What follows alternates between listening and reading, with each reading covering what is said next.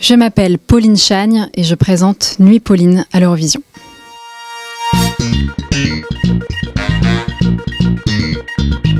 Glow, glow. La mélancolie. Je serais le bleu. Ça évoque plein de trucs, le ciel, euh, c'est hyper joyeux. Enfin, je sais pas, un ciel d'été qui se termine, qui est un peu bleu, bleu-jaune. Là, je trouve que c'est un truc d'espoir euh, magnifique, quoi. Je dirais bien Désenchanté de Mylène Farmer.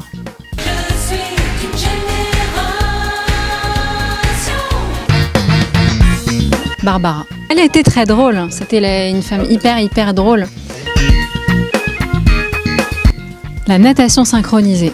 J'adore ce côté, euh, les vieux films d'Hollywood qu'il y avait avec des, films de natation synchronisée, c'est d'un décalé, d'un drôle, je, trouve ça trop bien.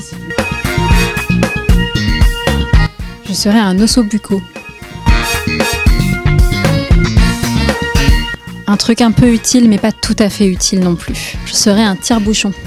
On peut s'en passer, mais c'est quand même très bien et puis ça sert un peu à faire la fête aussi.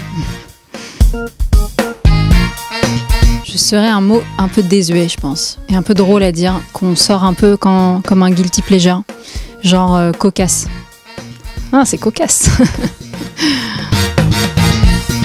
euh, chantons sous la pluie.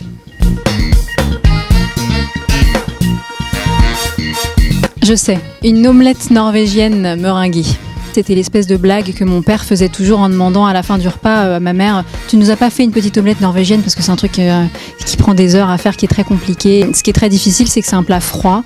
Pour ça que c'est norvégien. Et y a, je crois qu'il y a du citron à l'intérieur. Et c'est tout meringué. Donc à la fin, il faut le finir au chalumeau. C'est un bordel sans nom. Et ça fond. Et c'est enfin, ouais, très sucré. Et c'est. Voilà.